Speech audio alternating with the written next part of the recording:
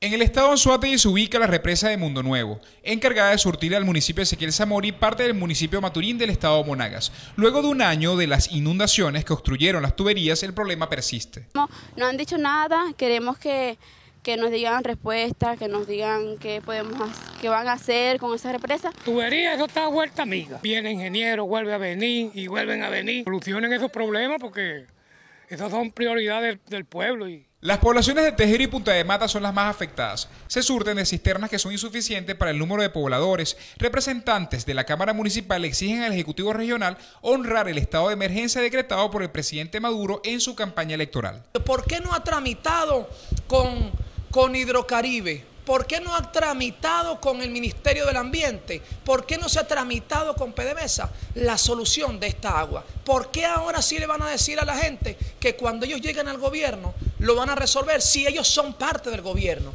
Factores adicionales aún promueven consecuencias negativas en el servicio de agua potable, como el derrame de petróleo sobre el río Guarapiche.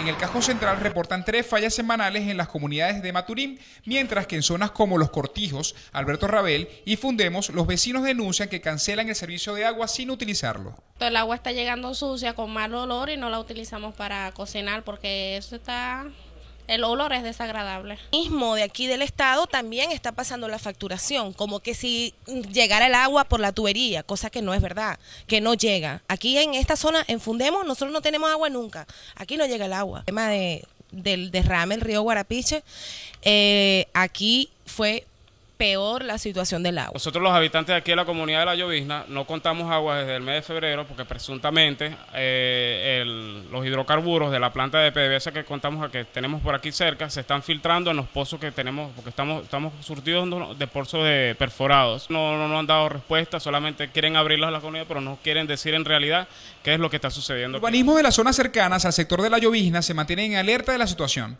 Aún no existe un pronunciamiento por la estatal petrolera, mientras que representantes representantes del Ejecutivo Regional manifiestan que se han realizado los trabajos para minimizar las fallas de suministro. Trabajos como este que se realizan en una de las principales arterias viales de Maturín para hacer mantenimiento a las tuberías de agua se observan en los últimos meses. Es por ello que conductores exigen al gobierno regional que realice estas obras tanto en las noches como los fines de semana debido al fuerte congestionamiento. Desde Maturín, Estado Monaga, sector Luis Caldera, Globovisión.